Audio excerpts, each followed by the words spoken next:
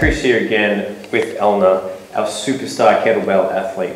And she's going to give you some really good hints for how to start preparing for a kettlebell competition. What are the little tricks they use to make it easier, to give them a better advantage to get that high rep range?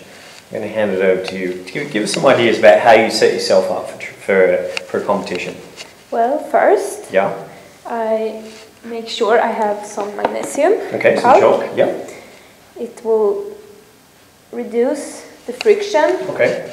Of the kettlebell rubbing against your yes, hands? exactly. Yep. So it reduces the sweat. Fantastic. You so, won't sweat yeah. if you use it. Okay, and that obviously will give you more grip as you're doing that longer time set. Exactly. Awesome. Okay, so chalk is very important. Yes, that's the most important for me. Okay. And the second, Yep. I used weightlifting shoes. Okay, and what's so special about weightlifting shoes?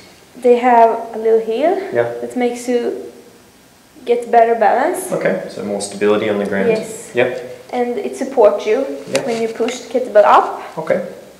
So you're going to get a little bit more power from your legs if you're using a more solid platform rather than just runners or a normal Yes. shoe. It's a big difference Yeah.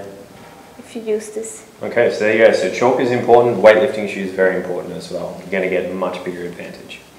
Okay. And what else are you uh, using to get yourself the best advantage? Water. Water I um, just- for hydration. this too. Uh, I wet it on my shirt. okay. Just wet it down Yeah. so that I will get mm, uh, more or less friction. Okay. So you're looking to add grip for your elbows. Yes, exactly. Okay. So I imagine uh, after a long period of time when you're lifting, it can get quite slippery. Okay, and that water helps your elbows stick to Yes, your t-shirt. from the beginning. Yeah. Because at the end you will get sweat. Okay. Yeah. So then you will, it will help you anyway. Yeah, yeah. But at the very start, you want to be able to get your elbows in the right position so you can relax in the rack Exactly, position. Yes. Very good, very good.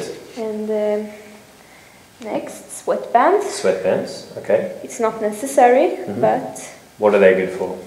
uh, if the if you are very sensitive Yeah, and have very fine bones. Yes. Yeah, then it's good. It protects the back of the wrist.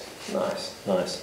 And does that stop a bit of the sweat coming down into your hand as well? yeah. Or- Yeah, It can too. It can do it too. very good. Nice. Okay, and um, I've also seen people, and I know uh, that you don't use one, but weight belts can be useful, yes? Or Yes, it can uh, be a very good sport. Yeah. If you are very weak in your Yeah. back. Okay, because you spend a lot of time Yes. sitting in an extended back position. Yes, exactly. Yeah. And uh, to help you, if Yeah. you if you can't reach Yeah. your You can't get hip your bone, elbows to your hip. Yeah. so then you can use it. Fantastic. It. Okay, so a weight belt can be helpful not only for racking, but for supporting your lower back at the same time. Exactly. Right, so that's pretty good. That's pretty extensive. Your normal everyday person probably doesn't need to go to this extreme just to start training with kettlebells. They just can get away with using a kettlebell, maybe a bit of chalk, Yes. and, and that's a good start. But if you're looking to improve, yeah, maybe train for a bit longer, To, then compete, to, to compete. yes, then these are some very good hit hints. There you have it. So chalk, very important. Weightlifting shoes to give you that stability and give you that power. And that's a really cool tip I haven't tried before. Getting some water on your t-shirt to add grip to your elbows. I think I'm going to be trying that one. Thank you very much, Elna. And guys, you can check out more at kettlebells.nu.